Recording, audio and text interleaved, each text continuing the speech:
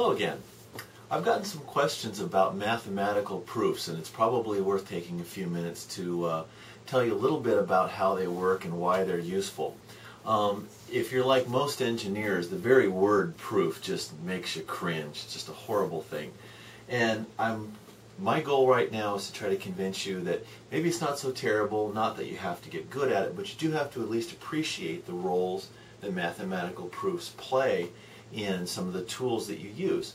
Um, mathematics is very different than engineering most of the time because in mathematics, uh, principles are established by rigorous logical proofs. And once a proof has been constructed that proves beyond any doubt, not reasonable doubt, beyond any doubt, that an idea is true, that idea can then be used as uh, part of the toolbox that engineers use to solve problems. Now, um, probably the, th the most important thing for me to communicate about proofs before I try to show you one is the difference between engineers and mathematicians on average. I mean, we're all different people, but on average, mathematicians tend to be puzzle solvers. Not a bad thing at all. Once the puzzle has been solved, it's not interesting anymore. It'd be like working a crossword puzzle the second time. Well, it's not interesting anymore. Engineers tend to be process people. Now, I'm an engineer. I don't want uh, every time I design a part, I don't want it to be different. I want the process to be the same every time because I have to produce a product. For a mathematician, once you've constructed a proof, you're done. It's not interesting anymore. Time to go on to something different. And the part that perhaps infuriates or frustrates engineers is that every proof is different. Every one is different. So what engineers think of as a frustrating experience or frustrating characteristic about proofs, mathematicians tend to think of as, as fun. That's why they're interesting, because they're all different. All right?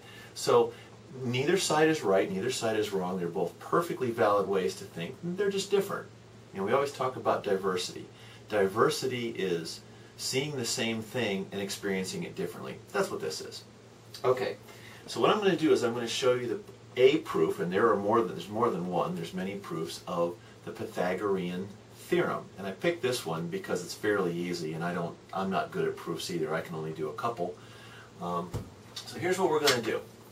If you look at the Pythagorean theorem, says that if I take a right triangle like that, with that being 90 degrees, and I'm going to call these sides A, B, and C. A, B, and C are the lengths of the sides.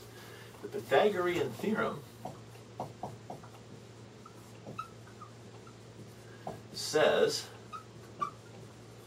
that A squared plus B squared equals C squared. And we use it absolutely all the time. It's hard to imagine uh, a, a, more useful mathematical expression than this one. Engineers, physicists, everybody uses this all the time. Now when we use it, we assume it's true, and it is true. But it's true not because we think it's true, it's because somebody, one of the one of Pythagoras' group, proved this. Once it's been proved, that's it. It's true. You can accept it. Never have to question it again. So I'm going to show you one way to prove this. There are more than one. This is probably not even one of the particularly elegant proofs, but it's one I know. So I'm going to, let's take a square here. Okay. There you go. That's square. And not very. Let's try this again. Okay. That's pretty close to being a square. Now, what I'm going to do here is I'm going to draw triangles inside this square. I'm going to draw right triangles. Now, don't worry about who thought of this the first time or how they ever came up with it. That doesn't matter here. So let's just go like this.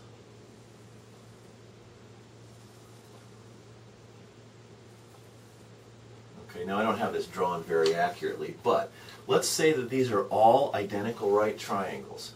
So that's a, that's a right angle, that's a right angle, that's a right angle, and that's a right angle. It makes this kind of nice pattern, okay? Let's also say that these right triangles also have sides of length A, B, and C. Okay, so there's side A, there's B, that one's an A, B, A, B, A, B. I think I got that right. Okay, let's figure the area of this square out two different ways. Right? So here's one way to do it. Make sure I'm in frame here. Okay, I am. C squared. C, C, C. Okay, C squared is one way to find the area. Here's another way to find the area. 4 times the area of that triangle plus that. Okay, now, this side right here, well, if that's B, and let's see, that's A, that distance there must be B minus A, B minus A, B minus A, and B minus A. Okay?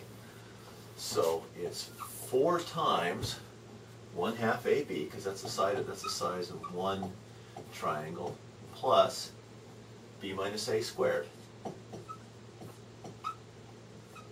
So all we've done so far is say that's the area of the square, and so is that. That's all.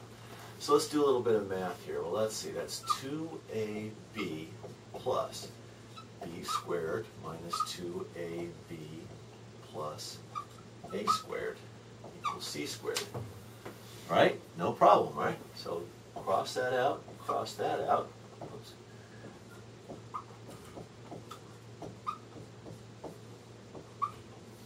That's it. That's the Pythagorean theorem. There's more than one way to do this, and like I said, this may not be a particularly elegant one, but it works. And the fact that it works is all I need to know. Now, once that's been established, beyond all doubt, it doesn't matter what A, B, and C are. My only assumptions are that these are right triangles, and that's a square. So the assumptions are very, very simple, very, very easy to uh, satisfy. Doesn't matter what A, B, and C are as long as I've got a, a right triangle.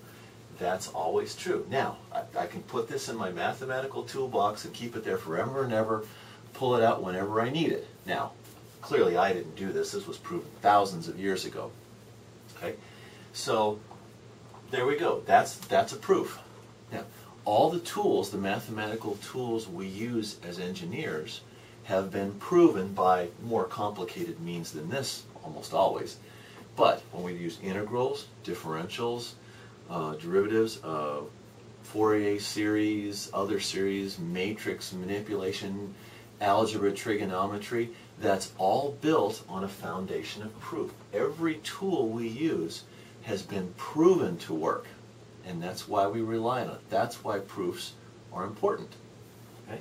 So here's a simple one, and that's the role uh, they play in our lives, why they're important, and why sometimes they're worth using. You can see why a mathematician would want you to know what a proof was and how to do a simple one and to understand its role in mathematics.